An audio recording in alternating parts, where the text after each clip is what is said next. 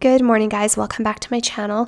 In today's video, I'm going to be doing something that's been very, very requested lately, especially over on my Instagram. People have been asking me for an updated perfume collection. So I don't like to do updated perfume collections too often because I feel like they're redundant and I feel like they get boring and how many times in one year can you share a perfume collection?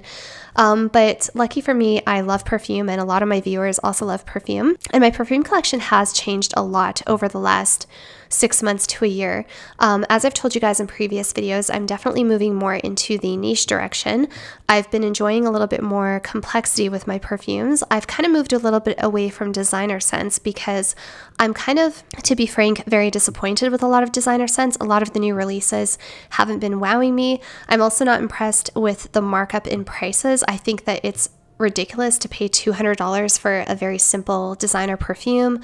Um, and a lot of the times they keep on reformulating or watering them down and still charging atrocious amounts. So it just kind of makes sense to look more in the niche direction these days anyway, if you ask me. Um, so I do have a few new perfumes in today's video and stay tuned until the very end because I'm going to share with you my up until this point gate kept perfume layering combination that has been one of my biggest compliment getters and just absolutely incredible. They smell so good together. So I'm going to share that with you at the very end of the video. Um, and also, I want to say in advance, I do have a really bad cold. Of course, the day that I wanted to film, I woke up with just a horrible cold, so I sound really congested. I hope that my voice isn't annoying in today's video. Without too much further ado, you guys, let's get started. If you're new here, I would love if you would consider subscribing. On this channel, I do share a lot of minimalism, organization, decluttering. I do a little bit of fashion, skincare, self care. Um, I talk about my favorite sunscreens. I review perfumes. Um, I do a lot of like closet tours and closet organization, capsule wardrobe wardrobe kind of stuff. It's just my vibe. So, yeah, if you like coffee, if you like any of those things, I would love if you consider joining my family. And without too much further ado, let's get started in today's updated perfume collection.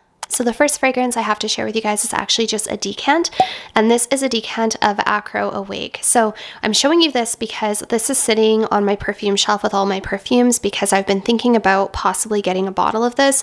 I'm not 100% sold on it yet. Actually, a friend sent this to me a few months ago, and when I first smelled it, I wasn't too sure. I thought it was a little bit too realistic, too foodie, and I didn't think I would enjoy it. However, it seems like the more I come back and smell this, the more I'm enjoying it. And when I have worn it, I've gotten compliments on it, and I've also really enjoyed the subtle whiff I was getting of this, like the sillage that I was getting from it. And it is quite pleasant. It's a really nice one for fall, winter, a little bit more of those cooler months. This is a coffee fragrance, um, and it's not a sweet coffee like a black opium. It's not um, too overly like frappuccino sugary sweet. It's actually a little bit more warm and spicy and soft. So this has notes of coffee, cardamom, Italian lemon, and Haitian vetiver. The most notable notes, the ones that you pick up the most, are coffee and cardamom. And this one, yeah, I have a cold, so my nose is a little blunted. I'm not picking up things as strong today as I usually do. I can still smell them, but they're not as strong. But this is just a beautiful, like spicy, a little bit sweet, but not too sweet coffee fragrance. You definitely get cardamom, which I love cardamom. If you guys have smelled um, Starlight from Xerjoff, this kind of reminds me a little bit of Starlight. Imagine Starlight from Xerjoff, but take away some of those kind of warm bakery spices, like take away your coriander, pumpkin pie spice leaning spices, and just replace it with just pure cardamom and then add some coffee. So it's kind of like Starlight, less spicy, more coffee. And it does have this beautiful warmth to it. It is a coffee fragrance, but for me it's not like too too much coffee. When I first smelled it, I thought it was. I thought it was too foodish. As you guys know, if you've been watching my channel, I don't like to smell straight up like a food. I don't like to smell too gourmand. Um, I like a little bit of gourmand, but not too gourmand. And so, yeah, this is really nice. And compliments that I've gotten when I've worn this is that I just smelled really nice and vanillic. And somebody actually told me once I smelled like cashmere when I was wearing this. So the perception of this fragrance is not overly like, oh my gosh, you smell like food or whatever. It's definitely more of a warm, like cozy fluffy, cashmere type of a coffee. And I do really like it. I haven't bit the bullet and purchased it just because I didn't really feel like spending the money on a perfume lately. I've kind of been focusing a little bit more on skincare and makeup, but this one is really nice. It's pretty, I would say like pretty elegant and fairly upscale and just like really goes with my aesthetic. It goes with my wardrobe. It's perfect for like wool, cashmere, like that kind of fall vibe. Um, it's really beautiful. So, and it's kind of addictive. It's like that scent that I keep coming back to. I keep smelling it. So that's why I've kept the decant. Um, and I can imagine that I will probably end up with a bottle of this, although it's not really the best time of year to be purchasing this type of fragrance. All right, let's do an oldie but a goodie, something that's a little bit familiar. This is Mon Guerlain from Guerlain. I have heard that this has been reformulated, which makes me really, really sad if that's the case. I do have a backup bottle of this and I have, I've smelled it and it smells normal. And I got that bottle quite a while ago, like I would say maybe even a year ago. So I don't know if the new ones sitting out on the shelf have been reformulated or not, but that would be a real shame if they have been because this is one of the most beautiful scents I've ever smelled of all time. It's one of my favorite feminine fragrances. This one is a beautiful, soft, cozy lavender vanilla fragrance. There's also tonka bean in here. There's some floral notes. There's even, I think, a little bit of bergamot in the opening, something just to give it a little bit of a freshness. Um, there's sandalwood. There's also a little bit of licorice in here, so there is a little bit of a spiciness to it. It's very feminine, it's very pretty, it's very soft, easy to wear kind of everyday appropriate signature scent worthy just smells elegant and pretty and mature kind of and it's just beautiful um, I can't tell you guys how many compliments I've gotten on this perfume. Like the number of times I have been approached by people at work saying, You smell so nice. And even people saying, What are you wearing? Do you mind if you tell me what perfume that is? I want to get it for my wife. I've actually had that happen. Yeah, it's just really pretty. It's really soft, it's really feminine it's just beautiful. There's not much else to say about it than that. So that's Mon Guerlain. This is the biggest dent, I think, out of any bottles I have currently because I no longer have Kayali Vanilla 28. If you guys saw um, a previous video, I did a declutter and I had, or maybe it was an empties video, and I had just a little bit left of the Kayali Vanilla, and I'm honestly kind of tired of it. I think I just wore that perfume not to go off on too much of a tangent, but I think I just wore Kayali Vanilla too much and I'm just kind of like tired of it. I just needed a break. I needed to smell some other vanillas. I needed to go in a different direction for a while. I may very well one day come back to Kayali Vanilla, but right now I'm still kind of over it. So, but this one remains a favorite in my collection. I've had it for a really long time, one of the oldest bottles in my collection. So that is Mon Guerlain. All right, the next bottle is one I haven't shared with you yet on this channel, I don't believe. This is Santal 33 from Le Labo. So this is a perfume that I've told you guys before I really did not think was for me. I didn't think it was my scent profile. I was in that camp of people who, when I smelled this, I smelled that sandalwood dill pickle thing. A lot of people, when they smell sandalwood, all they get is straight up pickles. And I kind of got that a little bit. I've never gotten it to a to an extreme like I think some people do, but I definitely could see why people said that they picked up a little bit of a pickly thing. And you guys know if you watch my channel that I had Santal Dan Sha from Armani Privé it's a beautiful fragrance. Still to this day, I think one of the most stunning, feminine, elegant, like sophisticated smelling perfumes I've ever smelled. It's gorgeous. It's also about half the price of Santal 33 and it has a similar feel, but they are different perfumes. Um, Santal Dan Sha also has really good lasting power and it has more of a brightness to it and more of a uh, freshness to it compared to this one. So the reason I don't have Santal 33 anymore is because, or sorry, the reason I don't have Santal Dan Sha is because I got this one and I didn't need two sandalwood perfumes in my collection. Um, they're just too similar for me to have both because they are dominant in the sandalwood. So this one I did finally bite the bullet and ordered a bottle. I'll talk to you guys about what I like about it more in a second. Um, but the notes that are in here are sandalwood, leather, papyrus, Virginia cedar, violet, cardamom, iris, and amber. So there is a bit of a leatheriness to this. There's a bit of a greenness. There is a bit of a powderiness to it. There's a warmth in it.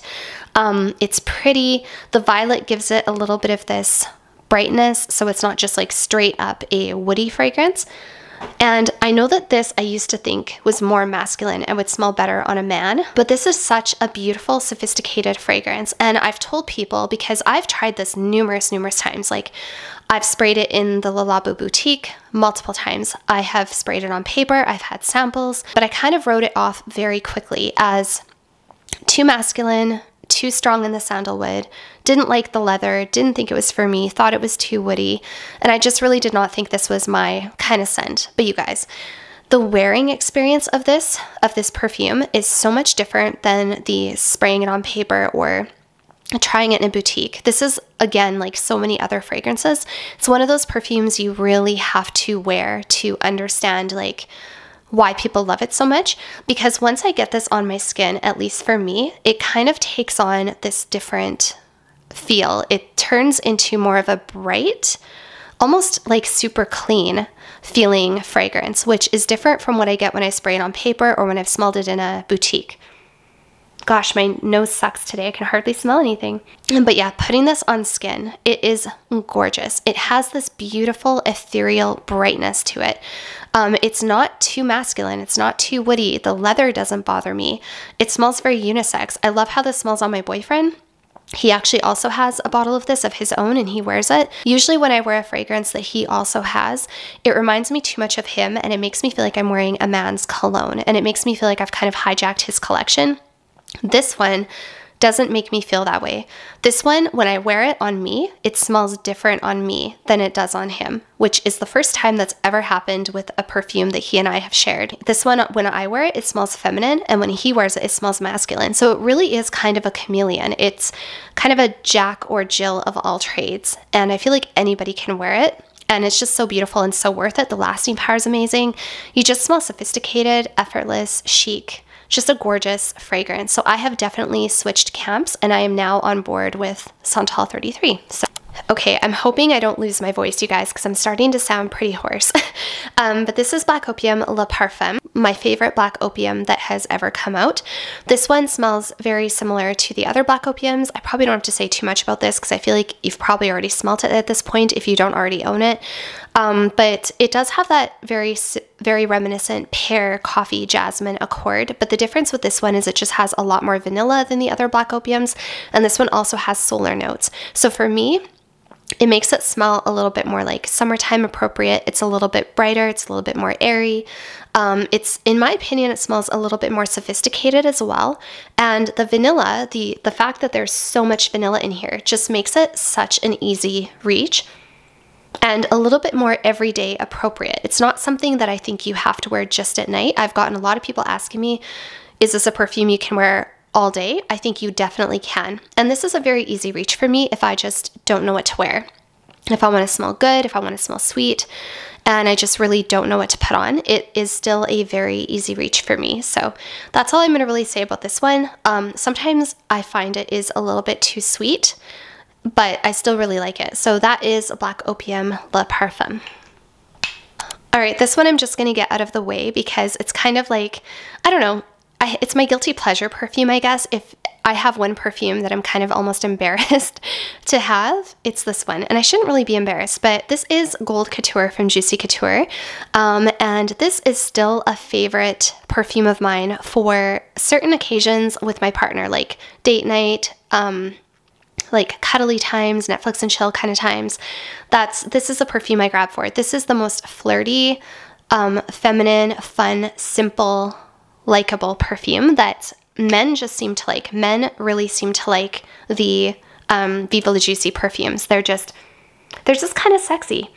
They're fun, they're flirty, they're sexy. And also, I will say, in the Viva La Juicy defense, if you've ever smelled Xerjoff Grand Ballo, that's a pricier perfume. It's a niche perfume. A lot of people really like it. Grand Ballo smells a lot like the Viva La. It's very similar. Also, uh, Gucci Gorgeous Gardenia. I believe it's Gorgeous Gardenia, the one in the pink bottle. Smells very similar to Viva La Juicy. So that is a scent profile that people just like. It's a likable scent.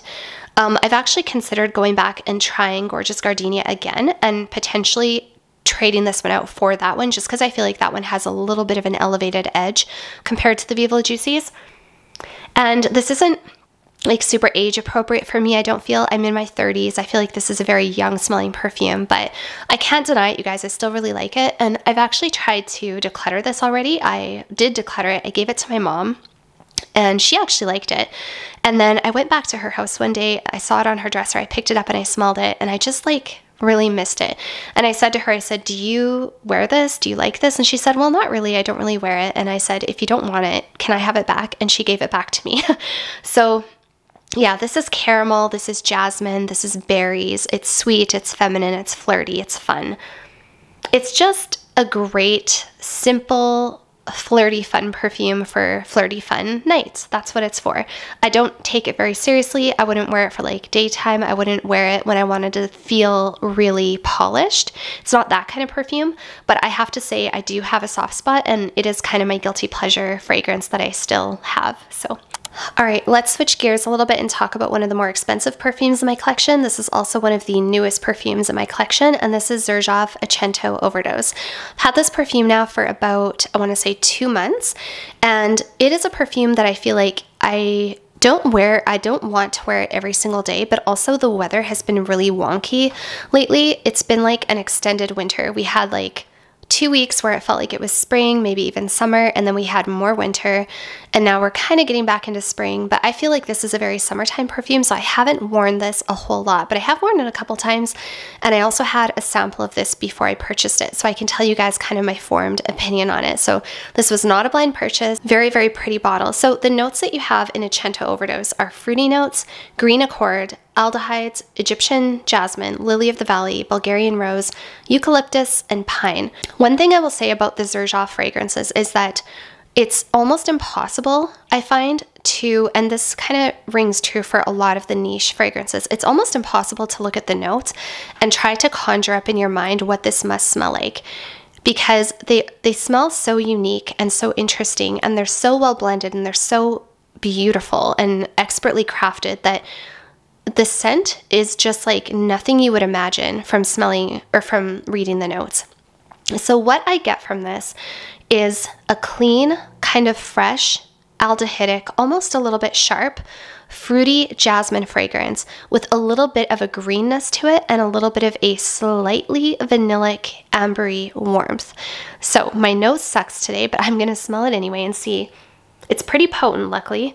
my nose is just not even doing it justice today. This perfume is a little bit fresh, it's a little bit clean. The jasmine that's in here is a very feminine, um, almost an ambery vanillic jasmine.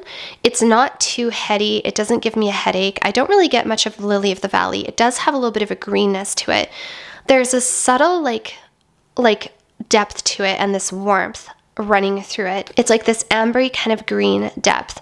So it's kind of fresh, it's kind of fruity, um, very feminine, very floral. I think that this could be unisex, but I honestly see this more on a woman than on a man. I feel like I don't know if I'd want to smell this on my boyfriend. I like how this smells on me. Yeah, and it's very, very strong, very potent. A little bit goes a long way. Again, it's one of those perfumes that had I smelt this at a counter, I don't think I would have been impressed by. Even spraying it on a paper at the counter, I don't think I would have been particularly sold on it. This is one that I had to actually put on my skin and I had to experience it, wear it, let it waft up around me, go outside, go outside in cold weather, go outside in warmer weather, and then I understood why everyone seems to love this. So it is not a safe blind buy, definitely not safe. I always encourage people to get samples, even though I don't always follow this advice, because sometimes when perfumes are super hyped up, you get them and you already have this underlying notion of what you expect it to be, and you expect it to be a certain, like at a certain bar. And if it doesn't reach that, you are just disappointed. And that's going to be 90% of perfumes you blind purchase because it's just it's just too difficult to possibly imagine what does a perfume smell like just by the notes. It's just too hard. So just to look at the notes, I never in a million years would have thought this would be my type of perfume. But it is definitely one of the most unique, beautiful, expensive smelling perfumes I have. This is the one I want to wear in the summertime when I want to feel super luxurious and feel rich and feel like I'm putting off those like super fancy vibes. It's just a very fancy smelling perfume. I recently had the opportunity to also smell Erba Pura and Erba Gold, and I will say that I like this better than both of those. Like for me, and all of them are very potent. Xerjoff uh, perfumes, especially the fruitier fragrances, are very potent. And for me, this is the one that just kind of does it for me. Um, Erba Pura still is a little too strong, a little kind of headachy for me. This one is also powerful. You have to go light-handed with it. It can be overpowering and overwhelming. Yeah, definitely one of the more expensive perfumes I have, one of the more expensive smelling, and makes me feel really, really posh, and I quite like it. So all right, the next fragrance is one that I have had my eye on for quite a long time. I also had smelled this in the past, but it was quite a long time ago and I didn't really remember what it smelled like. So this was kind of like a semi blind buy. Wasn't 100% blind buy, I had smelled it. Um, I just couldn't remember exactly what it smelled like. I just knew that my tastes have been changing. I've been going more in that um, complex niche direction. So I just had a feeling that this might be uh, a winner for me. And I knew that if it didn't work out, I would have a really easy time finding it a new home because it's a very popular perfume. So this is Atelier des Ors Lune Feline. This is just the original EDP. They do have an extrait. I have a sample of the extrait and I can tell you that they're not different enough to have both. The extrait version is just more vanilla. Um, yeah, it's a little bit stronger and more vanilla, but essentially they smell very, very similar. Maybe one day I'll do a compare and contrast if you guys are interested. So, the first thing about this perfume is the beautiful bottle. You will see that it has these gorgeous gold flecks.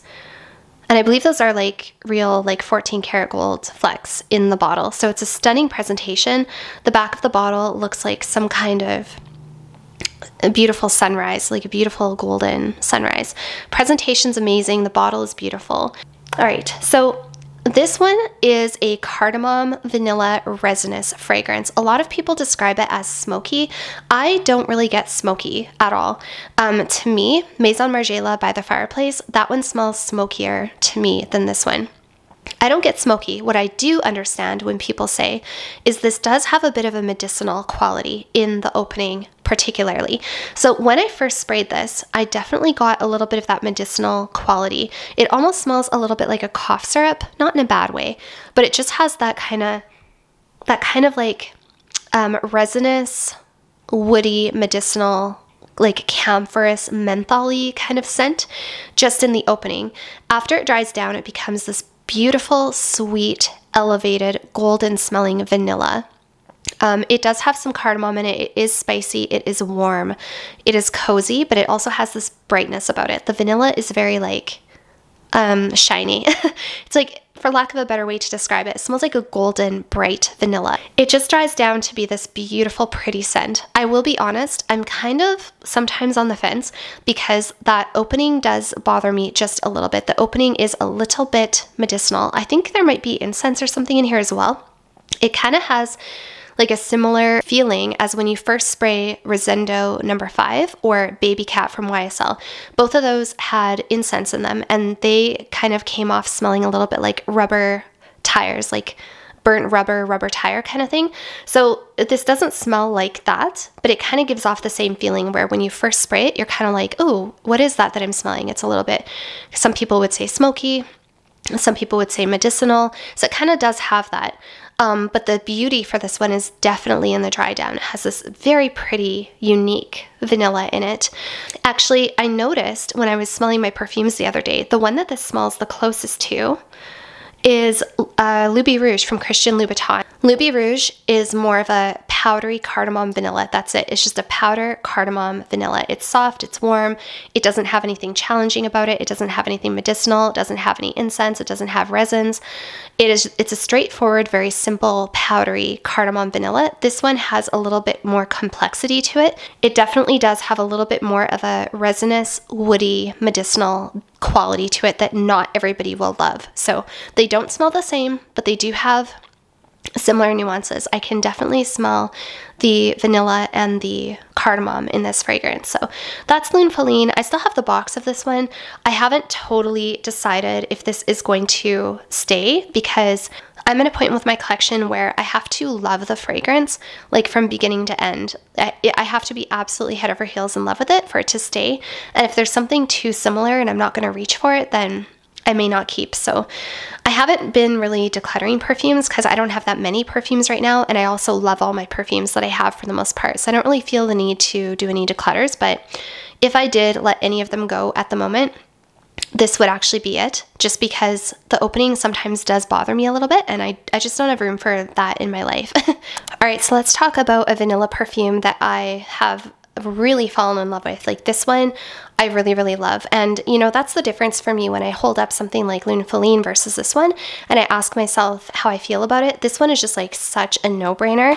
And that really tells you right there what's worth keeping. But, anyways, this is Maison Francis Kurkdjian Gentle Fluidity Gold. This is a perfume I have had to try, again, as with a lot of perfumes, I've had to try it many, many times before something finally clicked and I really realized I loved it.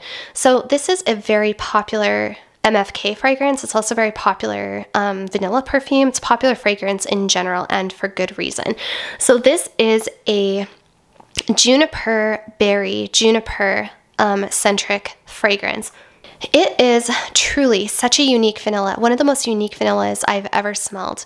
What gives it that uniqueness is the, I think there's juniper or juniper berry in here, or maybe both. So when it kind of turned for me, when it clicked for me, was actually the last time I was in Las Vegas.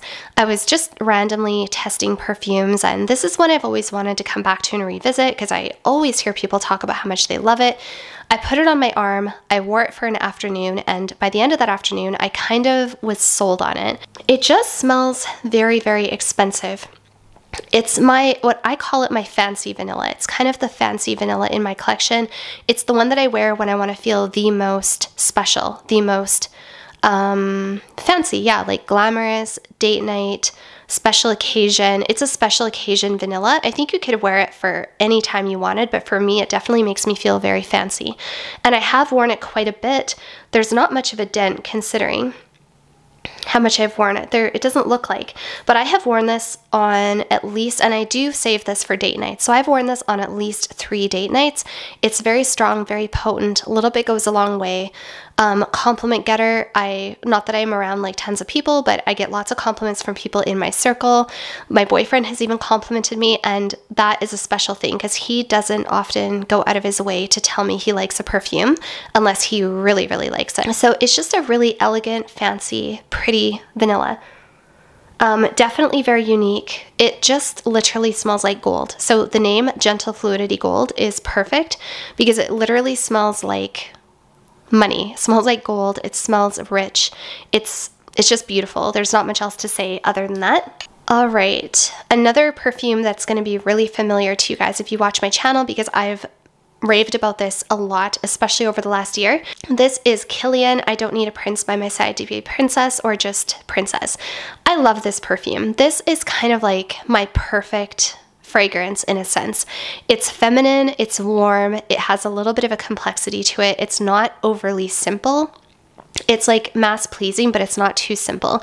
So, this is a vanilla uh, marshmallow green tea fragrance. Yeah, vanilla, marshmallow, and green tea. I also think there's a little bit of orange blossom in here, I want to say. There is a little bit of a white floral component to it. So, this is like fluffy, it's warm, it's inviting, it's cozy, but it also has a floral brightness to it. I really like when perfumes have a mixture of warmth, woodiness, spice, and vanilla, marshmallow, a little bit of gourmand, but I love when they also add some floral components because it just makes it less foody and more feminine and perfumey. I love that mixture. So like I say, this is kind of like my perfect feminine scent. I think this could be a signature scent. You can wear this all year round. It's floral enough and clean enough and bright enough that you could wear it during literally the spring or summer, but it's also cozy enough and warm enough and vanilla enough that you could also wear it during the fall. It's pretty enough and signature scent enough that you can wear it to work, but it's also sexy enough you could wear it for a date. It's just super, super versatile. Also, a massive compliment getter. Super mass pleasing. Um, I think it's a very safe blind purchase. Also, the price is not too expensive. Lately, with inflation and with the markup of perfume prices, this is no longer like that crazy exorbitant compared to a lot of other perfumes. And I just love it. It's just like, it's that perfume that just never fails. I can wear it all the time. It layers really well with other perfumes. I have a couple of perfumes coming up that I think are great layering fragrances that I'm going to share with you. But I really think you can't go wrong. So it's just like, it's pretty, it's feminine, it's floral, it's soft, it's cozy, but it's also bright and clean and vanilla and all the things. It's just beautiful. So, and it has that unique green tea like spin on it, which I love. So that is Kilian I Don't Need a Prince by my side to be a princess. This is Christian Louboutin Loubirouge. I love this fragrance. I still love this fragrance. I think I will always love this fragrance. This was a blind buy about two, maybe three years ago now, and it was a love at first sniff. It was an instant absolute like 10 out of 10 fell in love and it remains to be one of my favorite perfumes to this day. So this is a vanilla cardamom iris perfume. It does make me feel very expensive and very posh and very luxurious, um, but at the same time, it's something you can wear all the time. You could wear this any time of year. I think it's not too heavy that you couldn't wear it in the summer. Sexy enough for a date night um, signature scent worthy. Definitely something I could see myself reaching for every single day without any concern at all. Lately, I've been kind of getting over those powdery scents. This one is a little bit powdery, but it's not too powdery. It's really nicely blended. So the iris makes it a little bit lipsticky, a little bit makeupy. You've got your vanilla, and then you've got this kind of woody, warm not too overpowering cardamom. The the way the cardamom comes across in this perfume, I think I've told you guys before, is it smells kind of to me like a vintage building. It smells to me like I'm in a vintage building, you know, where the wood has that really old antique scent to it. That's kind of what I get. And this perfume, I believe, was inspired by um, burlesque in Paris. So it definitely does give the vibes of high heels, lipstick, uh, sexiness, just like oozing with this red, vibrant, like flapper girl kind of femininity. But at the same time, it's not childish or uh, too in your face. It doesn't give sexy the way Jean Paul Gaultier gives sexy, if you know what I mean. It gives sexy in the way that Maison Francis Kurkdjian gives sexy. It's it's a sophisticated, uh, upscale, pretty fragrance. The one gripe I would say it doesn't have the greatest performance. Like it lasts okay but it doesn't have a big scent bubble. For the price, I wish it had a bigger scent bubble. I feel like I have to overspray it. The good thing is it comes in a large bottle. This is, I think, a 90 ml bottle. It was expensive, but you guys, it's lasting me so long. And you can see I've put a pretty good dent because I take it with me whenever I travel. This is kind of my vacation go-to. It gives me the same feeling as Vanille Fatale from Tom Ford. If you've ever smelled that one, by the way, that's a perfume I'm considering getting. I just really, really like it. I think they reformulated it. I smelled it in Sephora and I love it, but I didn't feel like spending that kind of money. The feeling that I get from this is the same feeling I get from Vanille Fatale. They don't smell the same. They're different perfumes. They have they have some things in common, but it's just that feeling. It's that like bold, beautiful vanilla nighttime sexiness. All right, this is my third last perfume in my collection, and then I'm going to share with you guys my two perfumes that I like to layer together that when I layer them together make me smell and feel amazing. Um, so this is Diptyque Eau Duelle, the Eau de Parfum specifically. I have had the Eau de Toilette a couple times already actually, and it just never ended up sticking around. There was something about it that, although I liked it, it just I don't know, sometimes it bothered me or I just wasn't head over heels for it.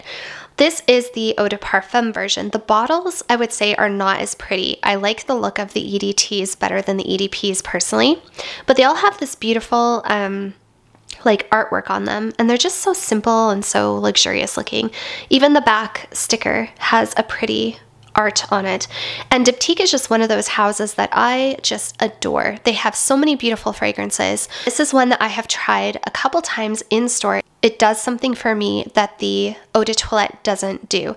So this one is very similar to the EDT. If you guys haven't smelled um, the Eau Duelle fragrances, they're basically like um, a green, sort of foresty, piney vanilla, a little bit resinous, um, subtle spices. The EDT is a little bit fresher, a little bit less spicy, and a little bit less dominant on the vanilla. In the EDT, you get a little bit more complexity, which is kind of nice, and you get this beautiful greenness, and it's a little bit more bright. Um, this one focuses a little bit more on the spice, a little bit more on the vanilla, but it smells essentially the same as the EDT. It's just it's like heavier and richer and a little bit deeper and less of the bright, fresh greenness. The EDT of this is kind of like a beautiful forest after it's had a rain, like a fresh, clean rain on a summer's day. It's a little bit bright, it's a little bit dewy, um, it's very clean smelling, it's very airy, it's vanilla, it's pine, it's resinous, it's just stunning. It smells like an enchanted forest, really. This one, the EDP, is kind of like that, but not after it's rained. Like, it's more like um, a heavier, cool nighttime maybe version. And so this still does give me that like fairy tale forest feeling. It really smells like um, a beautiful vanilla fairy tale forest is the best way I can put it. I'm probably a little bit biased because of the beautiful photo on the front. Just reminds me of like a fairy tale. I don't know why I always think princesses when I see it. Very, very pretty. Um, this is a really sophisticated vanilla as well. Um, I think it's fairly mass pleasing. I've been reaching for this one a lot actually. There is a little bit of a dent in the bottle. I was reaching for this a lot in the winter. Very classy. It's just that scent that every time I would smell it on skin, um, the EDP, I just would think, wow, this is so pretty. And I wanted a bottle. And I thought about it for a long, long time before I finally got it because I know that the EDT didn't stick around very long and I didn't want it to be a repeat. But this one has really done it for me. So I really can't say enough good things about it. Yeah, it's just a gorgeous green fairy tale forest vanilla where maison francis Kurkdjian gentle fluidity gold is like your fancy nighttime glamours. This is more like your everyday casual vanilla kind of. Second last perfume i haven't lost my voice we're doing pretty good. So this is giardini di toscana's bianco latte. Now i did do a video a first impression video um, talking about this perfume. And I, in that video, I said that I didn't know if I was going to keep it. I think I had actually already sold it. And the reason being was I picked up a little bit too much powderiness and a little bit too much coconut in this perfume, even though there is no coconut listed. Um, so this is a caramel vanilla fragrance. It also has a honey, I want to say honey and tonka bean, and maybe some musk. So first of all, I'll tell you what it smells like and then I'll tell you kind of my overall thoughts on it. So this is a very sweet, very, very sweet, very potent, powerful vanilla caramel perfume. There is also tonka bean in there, which if you guys haven't smelled, or coumarin rather, coumarin and tonka bean are kind of um, from the same the same pod, if you want to call it that. They smell very similar, and they have this kind of powderiness to them. I have a hard time with coumarin and tonka bean. I don't like that sort of almondy powderiness. It just rubs my nose the wrong way. I've tried a lot of really popular um, tonka bean perfumes and they just are not for me. And so I get that a little bit in here, and that was kind of bothering me. I also pick up a little bit of coconut in here, even though it's not listed. But overall, and I was hoping, I was hoping I could find a vanilla perfume that was basically like this, but without that powderiness, without that coconutty feeling that I was getting.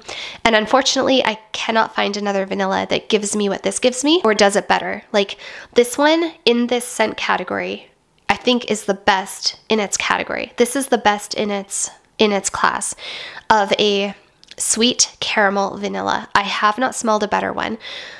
Now, that powderiness and that coconutty vibe still can be a little much for me. It depends. I have to go pretty light with this. Um, it's a very strong scent. A little bit goes a long way. You really do not need very much. This has amazing sillage. It lasts forever. I tried a couple of other really hyped up perfumes. Like I tried Escapade Gourmand. That was a flop for me. It was just too musky. Not my cup of tea. It was too like creme brulee musky. Um, I also tried Accident à la Vanille. Again, it was kind of too foody. Uh, just not my cup of tea this one just kept on like in the back of my head. I was like, shoot, I should have kept it, should have given it a second chance. And what really did it for me was layering it with the perfume I'm about to tell you about. So I will say, first of all, I love these bottles. The bottles are so pretty. However, this is my second bottle of this, and you can see that the paint is worn away on the edges. Also, the um, label was kind of torn a little bit. And the lid actually has a couple more imperfections, which isn't a big deal, but it's got a couple of like imperfections in, in the cap. And so I was a little disappointed because this was obviously rubbing around and also the sticker was scuffed. I had to kind of wash it a bit. So it was a little disappointing because this one was obviously like bumping around in the box for quite a long time, either in shipping or whatever. But I just think when you pay for these niche perfumes, it would be nice if they would make sure the presentation was perfect. So I'm not really impressed that the paint has rubbed off on the corners from rubbing inside the box. That's the one thing I will say about it. Otherwise, the bottles are beautiful. My first bottle that I got from the same store was in immaculate condition. It was perfect. It was so gorgeous. Kind of sad that I didn't keep that one. So this perfume, you guys, I just, it has like an addictive quality. So I I still hold true to my review. It still smells like what I think it smells like, but it has an addictive quality that keeps me um, wanting to come back for more. So initially I didn't think this was this one was going to work, but actually I just like I've never smelled anything quite like it. It's really beautiful. Um, so Bianco Latte, I believe, stands for white white milk. I want to say, and this is not super lactonic. It's a little bit milky, a little bit lactonic, but it doesn't make me feel nauseated. I've tried a lot of lactonic perfumes that just make me feel kind of sick to my stomach. It's addictive. It does smell a little bit gourmand, but it's not gourmand to the point that I feel like I don't want to wear it. But it is quite gourmand. Um, but it has a brightness to it. Uh, it's just it's just gorgeous. Also, I think because there's honey in here, I think that really sweetens it up. So it's just a beautiful fragrance. Um, I do have to go light-handed with it. It still does sometimes um, bug me if I get too much of that powderiness, if I start to smell that, but it really depends on what you're trying to smell. If I smell it and I think about vanilla and caramel, I get that.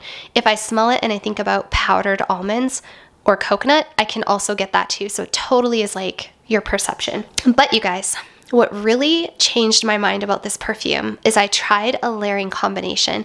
I tried layering this with none other than Baccarat Rouge 540, and that was what that was a game changer for me. Okay, you guys, so Baccarat Rouge 540. I'm a little bit embarrassed to say it, but yes, I have it back in my collection.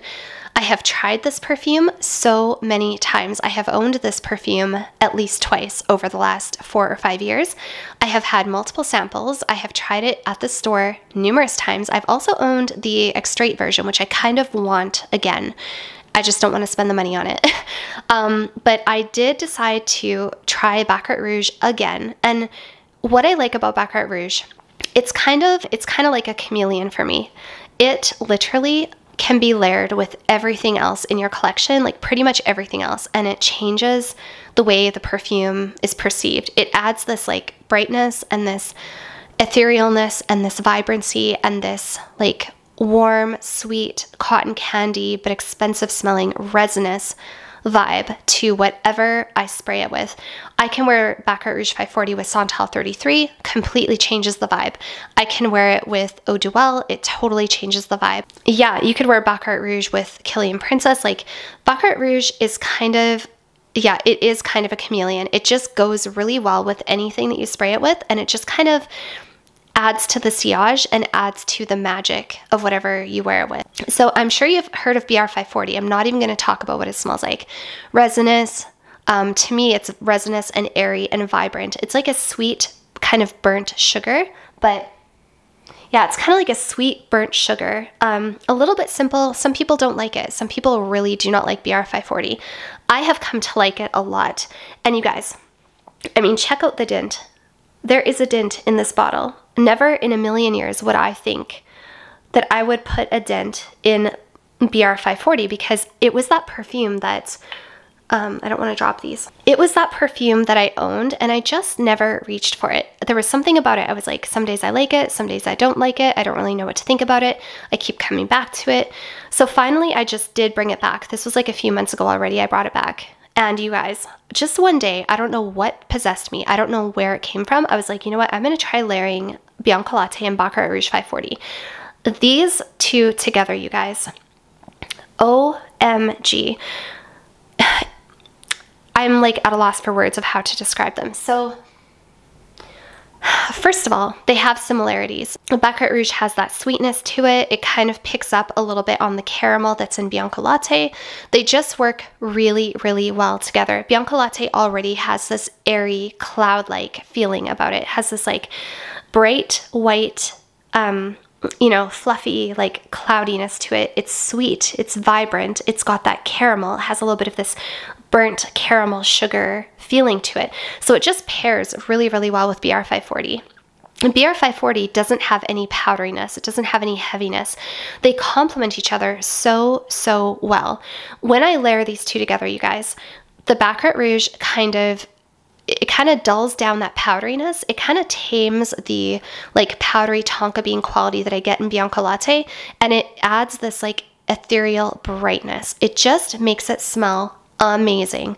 I wore this combination a few times. I've worn it a few times. Such a compliment getter. People will literally stop you and say, Excuse me, you smell amazing. What are you wearing? You smell so good. What are you wearing? I've had compliments from people when I've gotten my nails done. Like, I don't go a lot of places with, um, I don't work in a public place where I can wear perfume because at my job, we're not really supposed to wear perfume.